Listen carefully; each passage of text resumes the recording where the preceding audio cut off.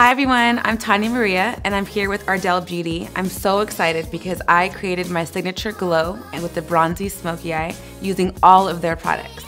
Keep watching to see how I created this look. So for my foundation, I'm gonna be using Camouflage Foundation and I'm gonna choose Dark 10.0 with Medium 5.0 and the reason for that is because I feel that I have two different shades with my skin tone, I want it to be like a little more olive, a little light in the areas that I want it to be, but still have like that yellow undertone also. And I like to use the back of my hand for everything, or a pump and a half of the 10.0, and then a pump of the medium 5.0. So you can see how the two shades are completely different from each other, but they still have a very yellow undertone in them. And I like to use a brush when applying my foundation. There is no right or wrong answer when doing that, but I really like how a dense brush makes everything just melt into the skin. I'm going back in with the 10.0 just to add a little more warmth to my face. And I really like how this foundation's coming out. It's very, very creamy, but it's light. It's definitely not a matte texture, and I really like that. I'm more into having a glowy overall look. For my concealer, I'm gonna use Camouflage Concealer. The two tones that I'm gonna use for this is medium six and light three. And the reason for that is because I have certain sunspots, um, old acne scars, so I wanna be able to cover it with a darker concealer first, the medium six, and then go back in and highlight with the light shade in light three. We'll just add a little here.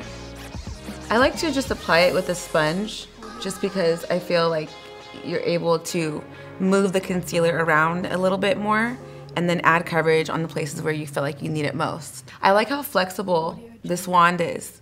I feel like it's just a nice soft touch to the face, especially when you're contouring. I like to apply the concealer on my lid just because I feel like it then leaves you with a nice, warm, maybe even canvas.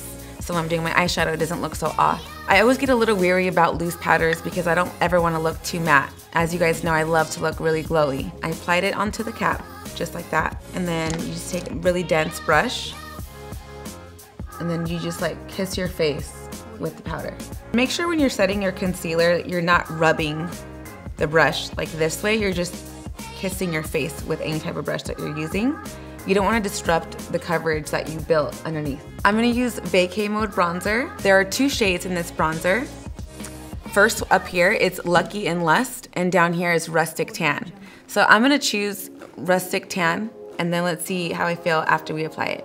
I like starting um, a little bit below the cheekbone when you're using a bronzer, just so it can create sculpted cheekbone look. And don't be afraid to, again, kiss your face with the brush. Don't try to move it too much. It's like light little taps.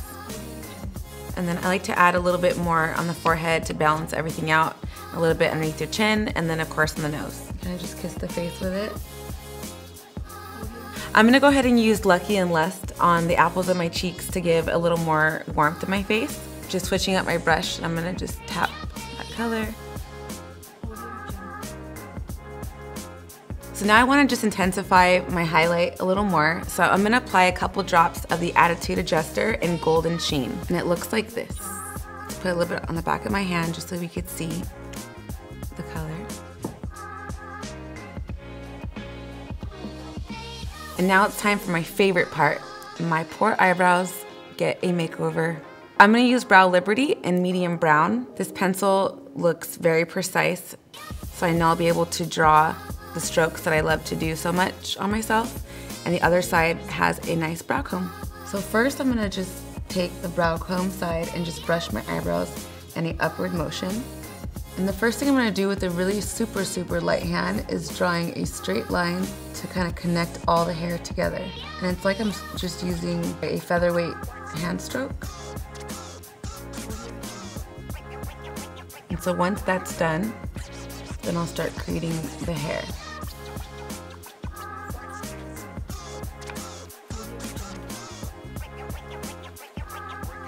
Look at the difference in my eyebrows.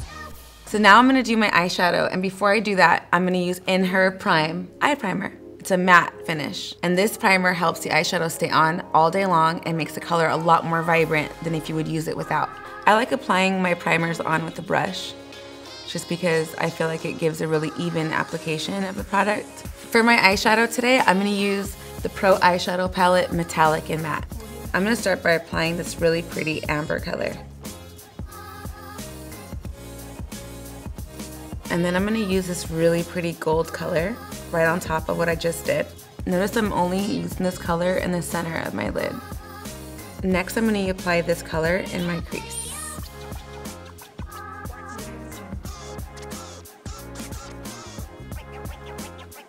With a small brush, I'm gonna deepen my crease with this color right here.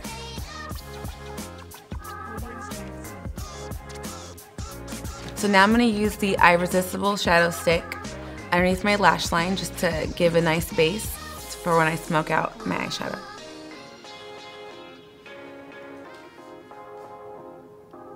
With the pencil brush, I'm gonna go in with this shade and this shade to create a smoky eye underneath your lash line.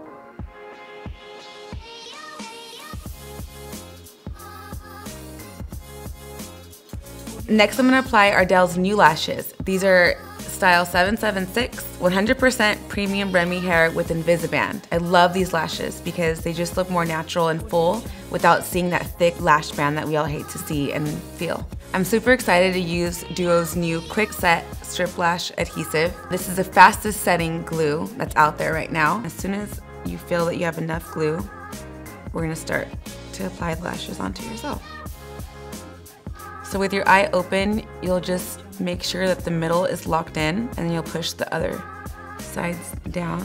And this is why it's so important to keep your eye open during this application because you want to be sure and be able to see all that's going on. And once you feel like the lashes are secure, then you'll add on your mascara to blend your real lashes with these.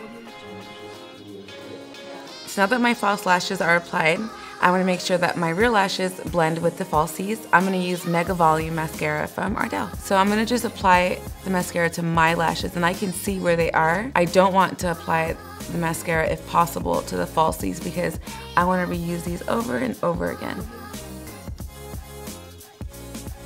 And here's the grand finale. So I am excited to play with their Ultra Matte, Ultra Opaque lipstick.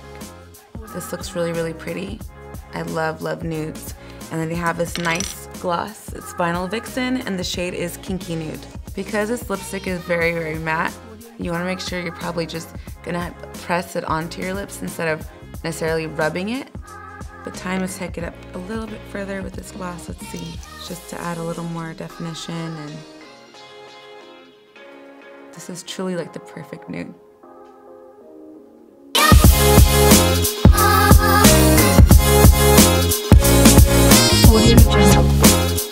So much for tuning in with me, you guys. Please let me know which Ardell products you've been loving. Tag Ardell Beauty and tag me.